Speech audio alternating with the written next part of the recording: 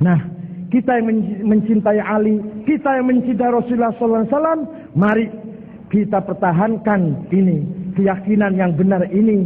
Mari kita pertahankan bakiyah min baqaya amal salihah. Sedikit saja amal soleh, mari kita pertahankan.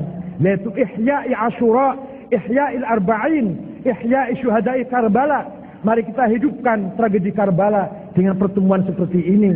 Syukur-syukur lebih dari ini. Syukur-syukur lebih besar lagi. Mari kita pertahankan uh, sautul hak ini.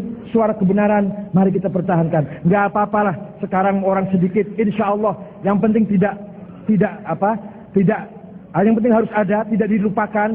Insya Allah lama kelamaan akan dipahami oleh orang banyak. Di kalangan NU sendiri masih banyak yang belum paham. Gak apa-apa, maklum belum ngerti. Allah madihim, fainahum la ya'lamun.